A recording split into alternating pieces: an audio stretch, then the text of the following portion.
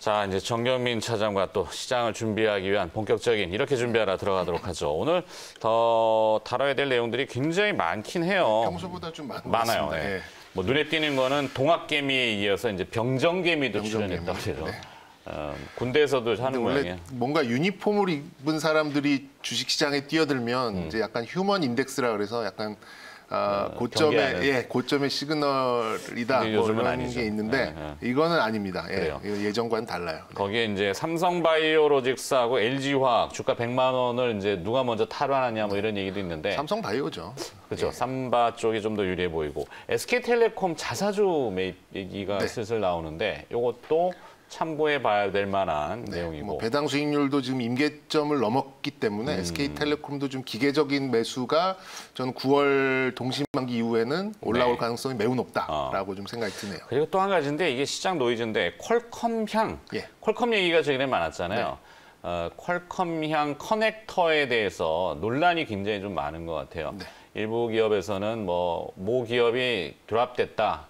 그러니까 우주 일렉트로가 드랍이 됐다. 이 퀄리티피케이션에서 어, QC. 낙마했다. 근데 제가 알기로는 아니거든요. 국내에서 대체할 수 있는 회사가 없는 걸로 네. 알고 있는데. 이게 네. 6핀이냐 8핀이냐 논란인데 하여튼 우주 일렉트로닉은 지금 양산 시설을 이미 갖춰놨거든요. 네. 그래서 오더만 나오면은 바로 생산에 들어갈 수 있는 그러니까 시장에서 좀 안티하거나 노이즈를 뿜는 데가 있는데 그거는 그렇지 않았으면 좋겠다. 그런 이유는 주가가 많이 올랐기 때문에 그래서요? 어. 약간의 어떤 이슈만 있어도 그 우려감으로 좀 확산이 되는 아, 그런 분위기예요. 그래서 네. 제가 오늘 제목을 이렇게 뽑았습니다. 뭐라고요? 무엇이 두려우십니까? 이렇게 준비하래 오늘 타이틀 제목은 무엇이 두려우십니까? 네. 두려울 게 없습니다. 그러니까 결론은 이런 이런 말씀을 쭉 드릴 두려워하지 텐데 마라 이런 얘기죠. 결론은 삼성전자 사세요입니다. 아, 음, 삼성전자를 어, 노릴 때가 됐다. 이거 뭐 어떤 종목에 대한 면피가 아니라 아, 이 방송에 나와서 삼성전자를 어, 가지고 이렇게 하나라고 하실 분도 계십니다만 음. 이거는 저는 상대적인 수익률로만 보더라도 삼성전자가 좀 부각될 수 있는 아, 시점으로 보고요. 그렇다고 뭐 지금 5만 9천 원인데 여기서 삼성전자를 말씀드린다는 것은 어, 전고점을 부러뜨린다라는 이제 전제하에 좀 말씀을 드리는 거죠. 지금 이제 무엇이 왜 두려우신가, 뭐 개인 투자자분들도 뭐한 지난주부터 이제 좀 문의 전화가 많이 오기 시작합니다. 저, 저도 이제 여기 어, 여기 와서 이제 방송한 지가 한 3개월, 4개월 좀 되다 보니까 어, 좀 연락들을 좀 많이 주고 계시는데 네. 어, 가장 많은 이 문희상 문의사항은 이걸 사고 싶은데 너무 비싸서 못 사겠다라는 뭐 분들이 삼성전자가 아니요, 아니, 뭐 이제 다른 종목들, 아. 뭐 네이버, 카카오, 뭐 LG화학 뭐 이런 종목들 너무 비싸서 거의 못 사겠다. 100만 원에 육박하는 네. 한 주당 이런 주식들을 뭐 그런 거죠. 분들이 좀 많이 계시는 것 같고, 음. 아, 그리고 현대차 뭐 얘기 잘해준 것 같은데 지금 사도 되느냐 이런 음. 분들도 좀 많이 계시고. 네. 근데 어, 진짜 현대차 시의적절하게 그게- 제가 정혜민 차장한테 놀라운 부분은 대부분 대형주들을 많이 다루시잖아요. 네. 근데 어, 계속 이번 달부터 지난달 말부터 어, 현대차를 이야기하시길래 네. 속으로는 그랬죠. 저 사람이 미쳤구나. 네. 네. 얻어.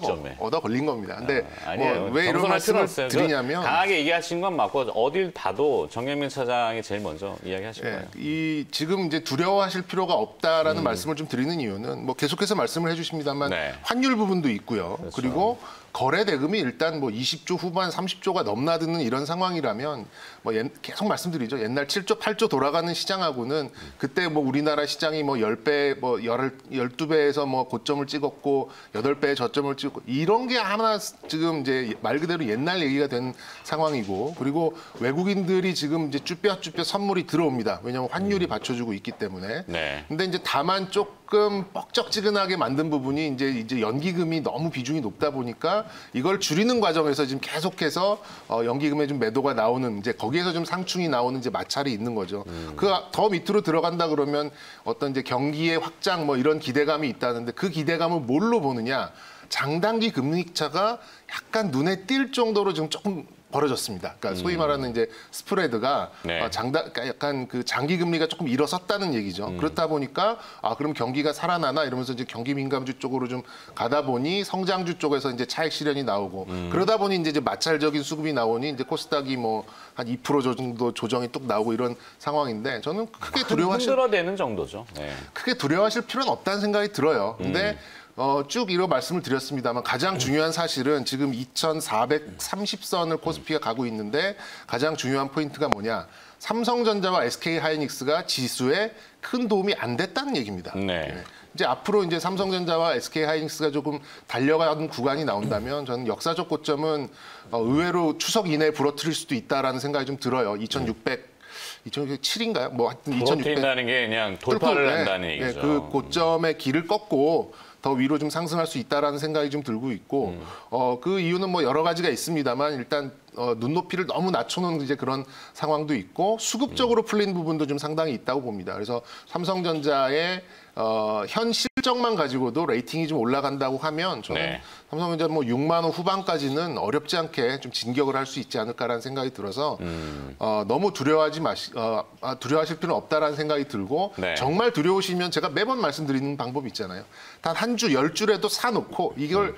한 주도 안 산 상태에서 저점을 딱 보고 사는 방법은 사실 불가능합니다. 근데 그러려면 한 한 주, 한 주는 좀 너무 심하고 열 줄에도 사놓고 그 다음에 추가 매수의 어떤 가능성을 보고 또 기회를 보고 이렇게 좀 접근하시는 게 맞는 거지.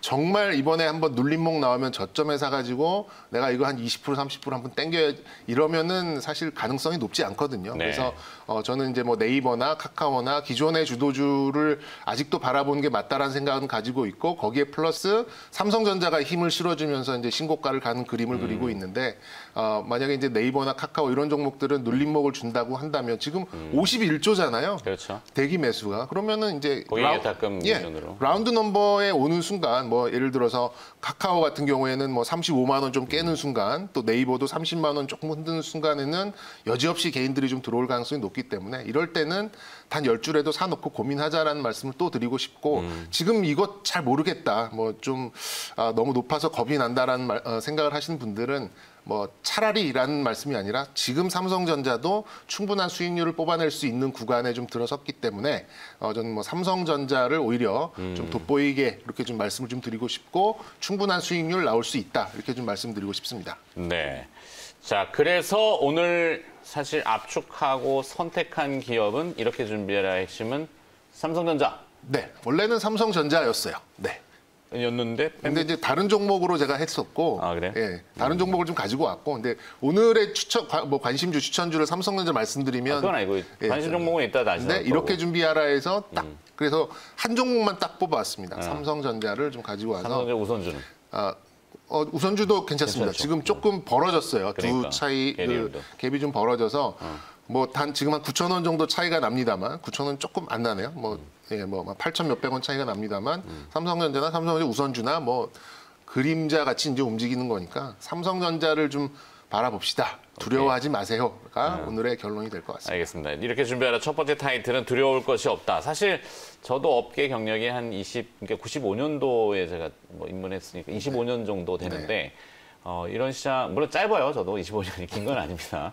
근데 이런 건 처음 봐 본다는 거. 네. 예, 병정개미가 등장을 했다라는 거. 그리고 우리 왜 얼마 전에 기사 나왔습니다만 우리 나라의 이제 아파트 자산, 부동산의 시가총액, 시가총액이 아니라 전체 자산 총액이 한 5천조 정도 된다 예. 그러죠. 그 중에 1%만 주식시장으로 들어와도 50조. 네, 5%만 들어와도 250조. 네. 네. 부동산이 과열이니까 그쪽 자금이 일로 좀 들어와야 되니까. 들어오면 어디로 들어오나? 삼성전자. 삼성 전자로 들어오는 거죠. 그렇죠. 네.